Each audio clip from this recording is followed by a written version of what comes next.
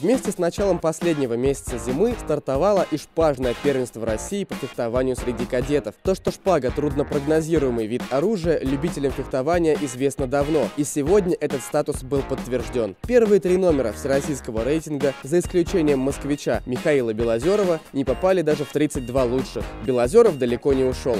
Он уступил на этапе 1.16 другому столичному спортсмену Максиму Потапову. Я в середине боя потерялся, эм, неправильно выбрал там тактику, я, мне надо было обороняться, а я атаковал его. И он меня ловил на мой большой шаг, из-за этого и проиграл. Я был очень сильно настроен, я хотел показать, что я могу быть сильнее. Потапов в итоге стал бронзовым призером. В полуфинальном поединке он уступил Рафаэлю Загитову. Согласно системе отбора, татарстанский шпажист своим выходом в финал завоевал себе место в главной команде страны. Но вот взять еще и золото соревнований Рафаэлю не удалось. Победителем первенства России стал московский спортсмен Артем Овчаренко. Я в сборную уже не попадал, ну по очкам я так посчитал.